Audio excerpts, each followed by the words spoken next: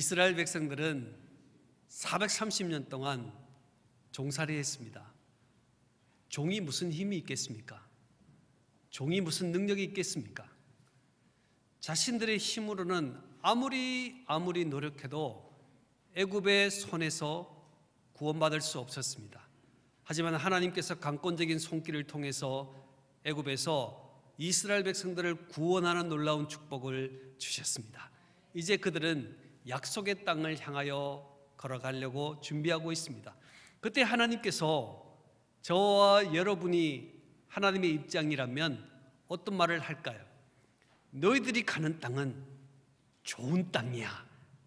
그 땅에 가면 지금까지 고생했던 모든 고생은 끝. 행복 시작이야. 이런 말을 할 겁니다. 또 너희들이 그 땅을 걸어가기 위해서는 여러 많은 힘든 고비 고비가 있을 것인데 이 고비를 잘 극복하고 서로 위로하고 서로 사랑해서 한 사람도 낙오 없이 그 땅에 들어가야 한다. 이런 말을 하실 것인데 오늘 하나님께서는 어떤 말도 그들에게 당부하지 않습니다. 오직 너희들이 가나안 땅에 가게 되면 무교절을 지켜라. 이렇게 말씀하고 있습니다. 이 무교절이라는 것은 하나님의 은혜로 출애굽함을 감사하고 기억하는 절기가 무교절입니다. 그래서 6월절을 지난 날부터 7일 동안 효소가 없는 딱딱한 빵을 먹으면서 하나님이 이런 고생하고 힘든 상황 가운데 종살이하는 우리들을 하나님의 은혜로 구원해 주셨다. 이 사실을 기억하면서 이스라엘 백성들에게 가나안 땅에 들어갔을 때도 하나님의 은혜를 기억하고 하나님의 백성답게 살아가라는 말씀으로 무교절을 지키라고 말씀을 해주고 있습니다. 왜 그런 것일까요? 이스라엘 백성들에게 가장 중요한 것은 하나님을 기억하는 것이었습니다.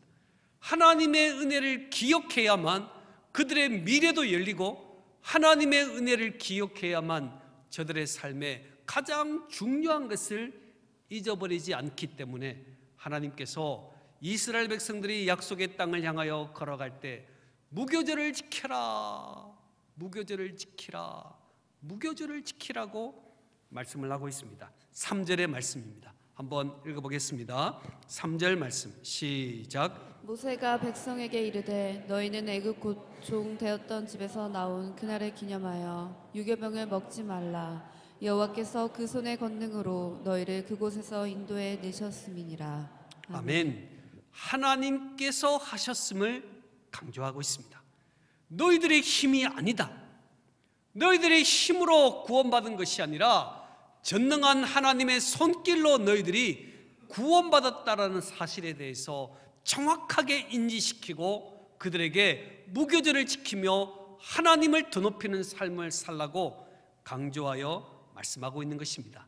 이처럼 저와 여러분도 예수 그리스도의 십자가의 피 묻은 손길을 통하여 보혈의 피로 오늘 저와 여러분이 구원받은 하나님의 백성 되었습니다. 우리의 힘으로 구원받은 것 아닙니다. 우리의 공로로 구원받을 수 있는 것 아니었습니다. 하나님의 전적인 은혜로 십자가의 피로 말미암아 그 예수 그리스도를 나의 구주 나의 하나님으로 고백하는 사람들에게 하나님은 강권적인 은혜를 저와 여러분에게 주셨습니다. 오늘 하나님의 은혜로 구원받은 저와 여러분이 구약의 많은 이스라엘 백성처럼 절기를 형식적으로 지키고 또 절기에 이런 이런 일을 해야 된다라는 그것을 따라 하는 것이 아니라 우리 하나님의 백성들 예수님을 믿는 자들은 절기의 정신을 따서 우리가 무교절을 지키는 것처럼 하나님께서 무교절을 통해서 무엇을 원하시는지를 기억하면서 우리가 똑같은 삶을 살아가는 것이 무교절을 지키는 것과 동일한 것입니다. 오늘 무교절의 정신은 구원받은 하나님의 백성은 과거로 돌아가면 안 된다는 것입니다. 구원받은 백성은 죄 속에 빠지면 안 된다는 것입니다.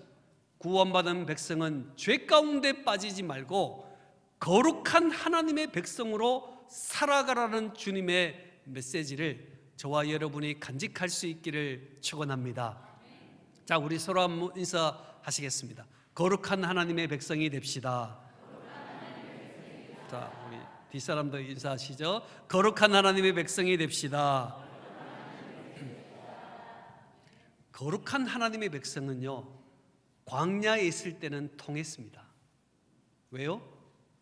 광야에 있을 때는 먹을 게 없거든요. 먹을 게 없기 때문에 하나님께서 만나를 내려 주시지 않으면 살 수 없었습니다. 그래서 이스라엘 백성들의 마음속에는 간절함이 있었습니다. 하나님을 향한 간절한 하나님의 거룩한 백성에 대한 간절함이 있었습니다. 그러나 가나안 땅에 들어가서는 농사를 짓지 않습니까? 농사를 지으니까 하나님을 향하여 기도하지 않아도 농사 지은 것으로 밥을 먹을 수 있게 됩니다. 그러니 간절함이 사라지게 되겠죠. 그러다 보면 구원의 은혜도 망각하게 되고 예배의 기쁨도 사라지게 되면서 저절로 과거로 돌아갈 수밖에 없는 것이 가나안 땅에 살아가는 인생의 모습이었습니다. 오늘 저와 여러분이 실업자로 있고 또 인생이 잘 풀리지 않고 어려움 속에 있을 때는 간절합니다. 하나님 도와주십시오. 하나님 도와주세요. 하나님이 아니시면 살아갈 수 없습니다. 이런 간절함이 우리들에게 있는데 조금 직장을 얻어서 제법 안정이 되면 하나님을 찾지 않아도 내 속에 사여지는 통장의 잔고로 말미암아 하나님을 향한 마음이 점점 멀어지면서 왜 그렇게 바쁜지를 모릅니다. 가난하고 힘들 때는 바쁘지 않았습니다.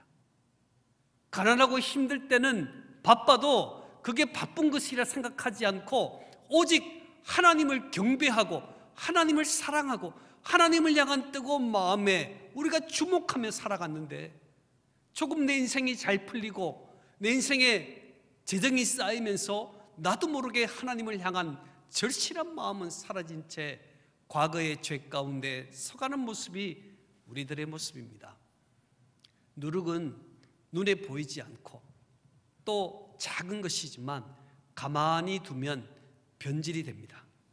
이처럼 신앙이 아무리 성숙한 사람도 가만히 있으면 저절로 죄를 짓습니다. 우리는 죄 가운데 있기 때문에 누구도 죄에 노출되어 있는 사람이지 죄를 거부하는 힘을 가지는 사람은 없습니다. 가만히 있으면 죄를 짓습니다. 자, 우리 옆 사람에게 다짐을 합니다. 가만히 있으면 죄를 짓습니다. 그래요. 우리 이상하게 그래요. 가만히 있으면 아무리 성숙하고 아무리 경건한 사람이라 할지라도 가만히 있으면 죄를 짓고 가만히 있으면 하나님을 기억하지 못하고 살아가는 모습이 우리들의 모습입니다. 그래서 이스라엘 백성들이 평소에는 부드러운 떡을 먹고 살아가지만 일주일, 1년에 딱 7일은 구분하여서 누룩 없는 딱딱한 떡을 먹게 했습니다. 왜요?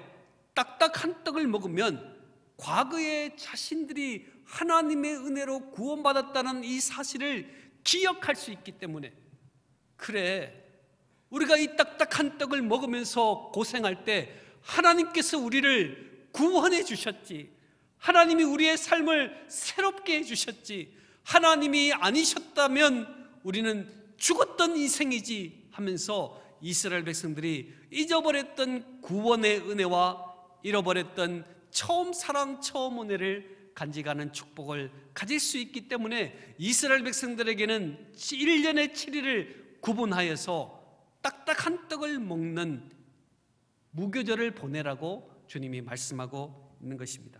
이처럼 우리들에게도 7일에 주어진 삶이 있습니다. 하나님은요, 우리에게 결코 부드러운 떡을 먹지 말라고 말씀하신 것이 아닙니다. 부드러운 떡을 먹을 수 있습니다.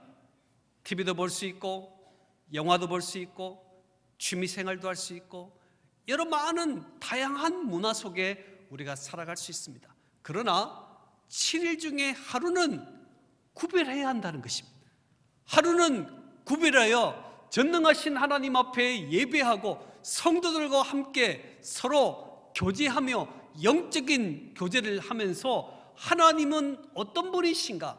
내 인생의 하나님은 어떤 존재이신가를 서로 의논하고 함께 나누고 함께 기도하는 영적 무교절의 시간이 있어야만 우리는 하나님 앞에 올바른 시간을 가질 수가 있습니다. 사랑하는 우리 성도 여러분, 우리는 가만히 있으면 내 신앙이 좋다. 나는 오랫동안 신앙생활 했다. 이것으로 가만히 있으면 변질될 수밖에 없습니다. 죄 가운데 설 수밖에 없습니다. 그래서 우리는 하나님 앞에 우리 자신이 죄 가운데 빠져 있다든지 나는 너무 세속적으로 살아간다면 여러분이 영적 무교절을 선언해야 합니다. 나는 이번 기회, 이번 새벽기도 11조 가운데 또 이번 부흥회 가운데 이번 한 해 가운데 영적 무교절로 선언하면서 내 인생의 하나님이 아니시면 결코 우리가 살아갈 수 없다라는 선언과 고백이 저와 여러분 가운데 있어야만 우리는 영적인 회복으로 하나님 앞에 설 수 있음을 믿으시기를 축복합니다. 사람들에게는 영적 계기가 필요합니다.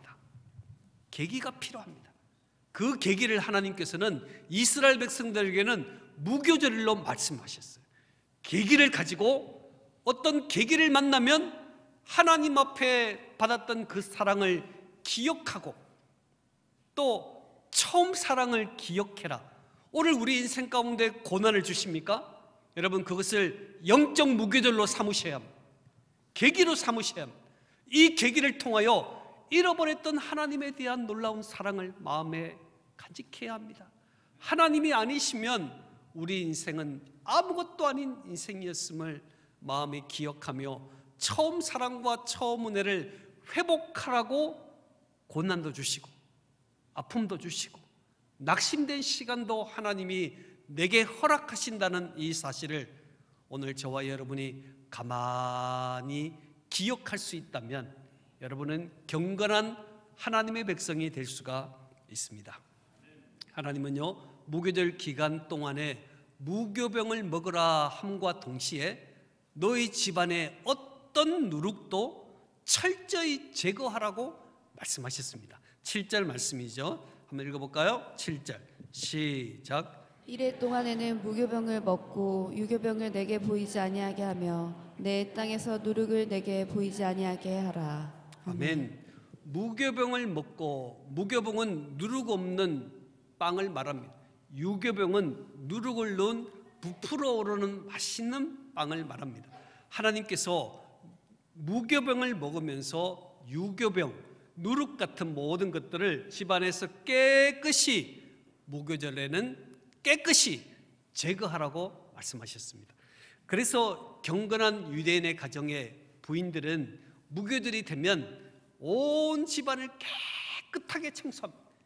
깨끗하게 청소해서 어떤 누룩과 곰팡이도 존재하지 않도록 집안을 깨끗이 정리한 후에 누룩 덩어리 10개를 각각 집안에 숨겨두고 또 촛불을 딱 켜놓고 남편과 자녀들에게 누룩을 찾을 것을 말합니다. 그러면 이 남편과 자녀들은 이 촛불 아래는 잘 보이지 않잖아요. 구석구석 구석구석을 뒤지면서 열 조각의 누룩 덩어리를 찾아내서 창밖으로 던져냅니다. 그러면 열 개를 찾고 나면 창밖에 던져진 열 조각을 모아서 회당으로 가져가서 모든 마을의 사람들과 함께 회당에서 누룩 조각을 다 태워버리는 의식을 합니다. 철저히 철저히 누구 누룩 조각을 없애겠다는 것이죠. 오늘 이 누룩 조각은 죄를 상징하는 것입니다. 오늘 무교절 안에 있을 때 철저하게 나의 죄악을 돌아보라는 것입니다. 철저하게 내 속에 있는 죄의 모습들을 다 끄집어내어서 주님께 고백함으로 해결함 받는 시간이 바로 영적 무교절의 이 시간이라는 거예요. 그래서 고난을 만났습니까? 영적 무교절을 선언하시고 내 속의 죄악이 어떤 것인지를 우리는 돌아봐야 합니다. 우리 가정의 죄악을 돌아보아서 철저히 정리하지 않고서는 경건한 그리스도인이 될 수 없다는 것입니다. 내 속에 음탕한 생각들을 품고 내 속에 형제를 미워하는 마음을 가지고 내 속에 분노하는 마음을 가지고 어찌 하나님을 경건히 찬양할 수 있겠습니까? 그래서 내 속에 죄악을 누룩덩어리를 철저히 제거하라는 말씀을 하고 있습니다. 고린도 전서 5장 6절 말씀입니다. 고린도오서 5장 6절 말씀을 한번 읽어보겠습니다. 시작. 너희가 자랑하는 것이 옳지 아니하도다. 적은 누룩이 온 덩어리에 퍼지는 것을 알지 못하느냐. 아멘. 적은 누룩이 온 덩어리에 퍼진다 그랬어요. 누룩은 아무리 적어도 그 작은 덩어리는 온 덩어리에 퍼질 수밖에 없기 때문에 나의 가장 작은 죄악이 아무것도 아니라고 생각하는 죄악이 숨겨놓은 내 마음의 죄악이 온 집안을 죄로 물들일 수 있다라는 겁니다. 온 가정과 교회를 물들일 수 있기 때문에 철저히 죄악의 문제를 점검하고 철저히 회개하는 삶을 살아야 한다라고 우리에게 말씀하고 있습니다. 우리가 새로운 존재가 되기 위해서 묵은 누룩을 철저히 제거하는 결단이 우리 경건하게 살아가고자 소망하는 저와 여러분에게 결단되시기를 축원합니다. 그래요. 우리는 경건한 하나님의 백성으로 살아가기를 위하여 부름받은 존재들입니다. 내 안에 죄악이 있으면 여러분 오늘 이 시간 고백하셔야 합니다. 오늘 우리가 죄를 고백하지 않고 죄를 해결하지 않았는데도 내 인생이 너무너무 잘 되십니까? 내 안에 죄악이 그렇게 많은데도 내 인생이 너무너무 잘 됩니다. 야, 내가 죄 가운데 있는데도 사업 잘 되네. 우리 자녀 잘 나가네. 여러분, 그것은 하나님의 침묵이지 결코 죄의 용서는 아닙니다. 오늘 저와 여러분이 내 인생의 죄악의 문제를 하나님 앞에 내어놓음으로 다시 한번 내 인생을 새롭게 하는 결단과 은혜를 가지셔야만 하나님께 붙잡힌 바 되는 놀라운 축복을 가지게 되는 것입니다. 이스라엘 백성들은 죄의 문제를 심각하게 생각하며 살았습니다. 하나님의 은혜가 아니면 하나님의 축복이 아니었다면 자신이 살아갈 수 없음을 깨닫게 되었습니다. 그리고 자녀들에게 이렇게 이야기했습니다. 8절 읽어볼까요? 시작. 너는 그날에 내 아들에게 보여 이르기를 이 예식은 내가 애굽에서 나올 때 여호와께서 나를 위하여 행하신 일로 말미암음이라 하고 아멘. 무교절 날 아들에게 보여 그랬어요. 자신이 경건한 신앙생활의 모습을 우리는 경건한 신앙인이다 할 때 기도 열심히 하고 신실하고 우리 성가대처럼 멋있고 네, 한 번만 하면 네. 그러면 경건한 줄 알아요. 그런데요. 아들에게 보여 아들에게 보여. 가정의 식구들에게 보여. 이 예식은 하나님이 내 인생을 구원하신 것을 인하여 감사하고 기뻐하는 예식이라고 선언하라고 말하고 있는 것입니다. 이 의미는 무엇입니까? 경건한 신앙생활은 나 혼자 열심히 신앙생활하여 할렐루야 아멘 할지라도 자녀들이 경건한 신앙을 본받지 못하면 경건한 신앙이 아니라는 뜻입니다. 오늘 무교절을 돌아보는 이스라엘 백성들의 마음 속에는 항상 자녀들이 있었습니다. 자녀들이 내가 구원받은 하나님의 은혜를 간직해야 한다. 그래서 자녀들에게 보여주라. 자녀들에게 선언하라. 하나님이 어떤 분이신지를 자녀들에게 선언하라고 말씀하고 있습니다. 이 말씀을 대하면서 우리들의 마음에 참 어려움의 마음이 가집니다. 그래, 나는 신앙생활을 잘참 잘하는 그리스도인인지를 생각하고 나는 존경받는 믿음의 사람으로 서 있지만 자녀들이 그 신앙을 물려받지 못하면 경건하지 않다라고 말하는 것입니다. 오늘 무교절을 돌아보는 이스라엘 백성들의 마음은 어땠을까요? 만약 그 안에 하나님을 알지 못하는 자녀들이 있다면 어떤 마음이었을까요? 오늘 저와 여러분은 하나님을 알지 못하는 자녀와 하나님을 알지 못하는 가정의 식구를 보면서 영적 무기절을 만난 저와 여러분은 어떤 마음으로 자녀들을 어떤 마음으로 가족들을 돌아보고 계십니까? 이스라엘 백성들은 아주 심각하게 이 말씀을 받아들이고 있습니다. 그리고 이 예식은 내가 애굽에서 나올 때 여호와께서 나를 위해서 행하신 구원을 말하는 예식이다. 이렇게 선포하는 이스라엘 백성들의 모습을 가만히 묵상하면서 우리에게는 왜 이런 선언이 없을까?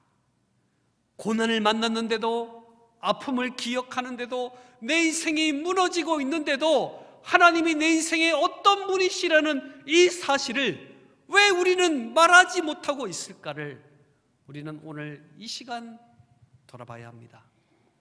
이 시간 하나님의 하나님을 향한 구원의 선포를 한 후에 구절에 보니까 자, 구절 읽어 보겠습니다. 시작. 이것으로 내 손의 기호와 내 미간의 표를 삼고 여호와의 율법이 내 입에 있게 하라. 이는 여호와께서 강하신 손으로 너를 애굽에서 인도하여 내셨음이니. 아멘. 아멘.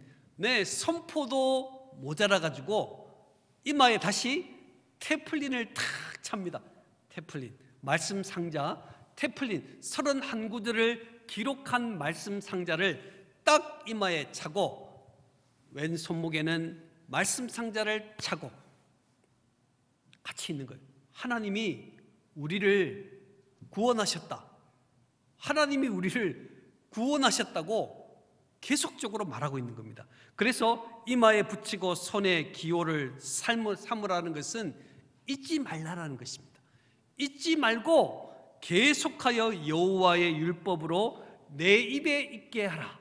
여호와의 율법으로 내 입에 있게 하라는 것은 하나님의 능력이 손이 우리를 구원하셨다는 것입니다.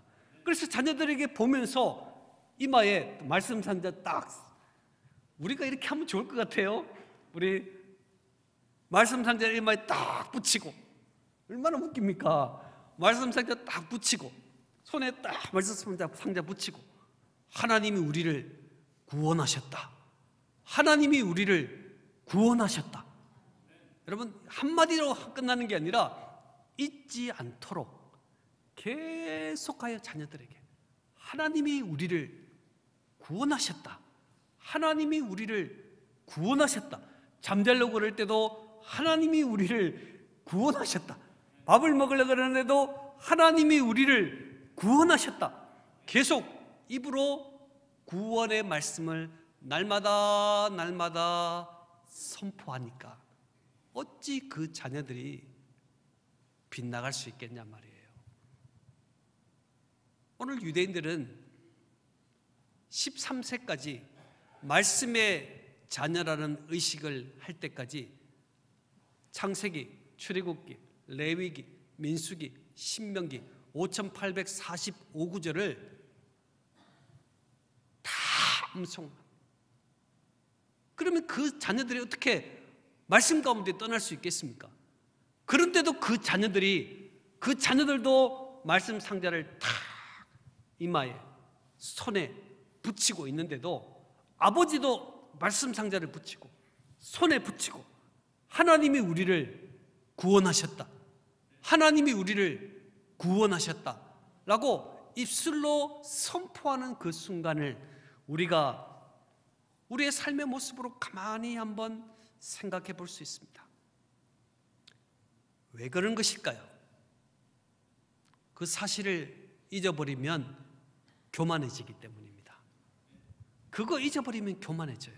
하나님이 내 인생을 구원하셨다는 이 사실을 잊어버리면 교만해집니다. 우리 교만 선수 아닙니까? 자, 우리 옆 사람에게 한번 당신은 교만 선수입니다. 자, 우리 진짜 교만합니다. 네, 우리 교만해요.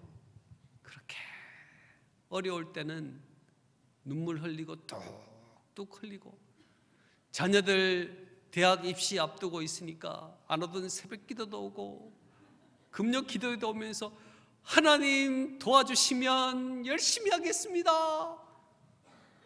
열심히는 그냥 보이지도 않아요. 우리 진짜 교만합니다. 힘들 때는 하나님이고 내가 좀 배부르고 내가 좀 알려지고 많은 사람들에게 존경을 받으면 까마득하게 하나님을 잊어버립니다. 그래서 우리들에게 영적 무교절이 필요한 것입니다. 내가 너무 세속적으로 빠지고 있습니까? 내가 영적 무교절을 선언하며 하나님을 하나님의 구원을 기억하고 나의 죄악을 점검하고 자녀들에게 하나님의 은혜를 말하지 않는다면 하나님은 강제적으로 우리들에게 영적 무교절을 가지게 하기 위해서 아픔도 주시고 고난도 주시고 어려움도 주실 수밖에 없겠습니다. 오늘 저와 여러분이 이 말씀을 마음에 기억하면서 날마다 날마다 구원의 은혜를 선포하는 경건한 믿음의 사람. 오기 주 사람 만나니까 하나님께서 나를 구원하셨음을 자꾸 깨닫게 만들 수 있는 그런 영적인 사람. 그러한 사람으로 하나님이 저와 여러분을 오늘 이 시간 부르셨음을 기억하고 오늘 성도들의 교제 가운데 예배 가운데 하나님을 더 높이는 저와 여러분이 되시기를 축원합니다. 기도하겠습니다.